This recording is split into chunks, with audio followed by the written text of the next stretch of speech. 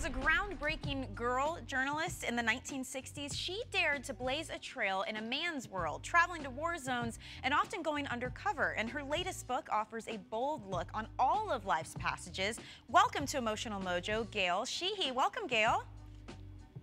I'm so happy to be here. And you know, my emotional mojo comes from Daring, which is the title of my book. So this is the perfect show for me. Absolutely. We'd love to talk about that book. As you mentioned, it's titled Daring, My Passages.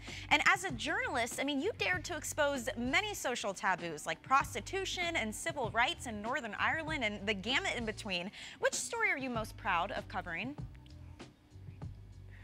Oh, I would say um, I'm probably most proud of covering menopause because nobody spoke about it in the 70s. Uh, it was a completely taboo subject. Actually, it was 1990.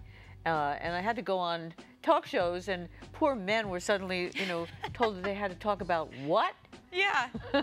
but it broke through, and women began going to their doctors and saying, "Hey, I know more about this than I think you, maybe you know, and I want you to measure my hormones and talk to me about how I deal with this passage in my life. Isn't it amazing, something like that? I mean, today you could see an entire show talking about menopause, yet in your day and that time, it was such a taboo topic. Absolutely. and I think, uh, of course, I'm most proud of my book, Passages, because that gave so many people permission to change, to do change in their lives, which is exactly what a passage is. And we come upon those times of emotional mojo uh, failing, you know, diminishing, and we don't quite know why. Why don't things work the way they used to? Why aren't I as happy with my job as I am? What's going wrong? What's, what's, what's where's the hollow in my marriage? Why don't my kids respect me? And then you have to, you know, develop another mode, uh, move forward, change, and the change actually takes you into the next stage and you've grown. I mean, you have just described what our entire show is based upon.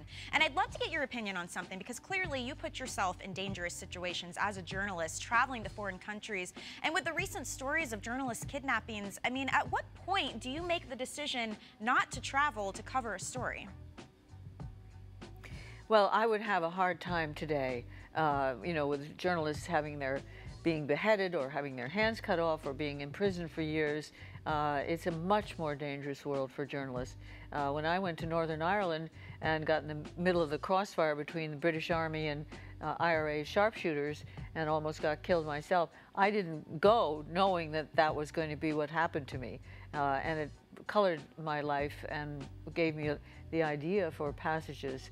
Uh, but today I would have a great pause although I know that our country goes way out of its way to save people who uh, may not be the most um, responsible characters, but we will always try to protect our own. Yeah, yeah, and you know, your book, we've got to talk about this as well because it's also a love story of your romance with Clay Felker, the yeah. creator of New York Magazine. How did he inspire you to become a fearless journalist? Well, he challenged me right from the beginning. He said, you know, Gail, writing a, a, lot of little stories won't get you anywhere. No matter how good they are, people won't remember them. What you have to do is tackle a big story, something everybody's talking about, but they don't know the why. Uh, and that gave me, you know, a pointer for how to go about stories. Later, I had Margaret Mead as a uh, the great anthropologist as a mentor. Um, Helen Gurley Brown at Cosmopolitan gave me some of my earliest stories.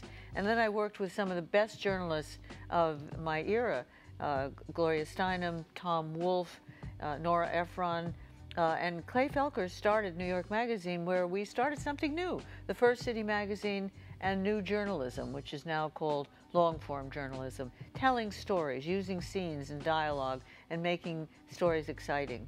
Well, thank you. and that you. made our lives together exciting. Well, you know what? You are such an inspiration. I want to thank you. Unfortunately, we are out of time, but I would love for people at home to check out the book. It is called Daring, and it's available now in bookstores and online, or you can visit the website, gailsheehy.com. Thank you, Gail.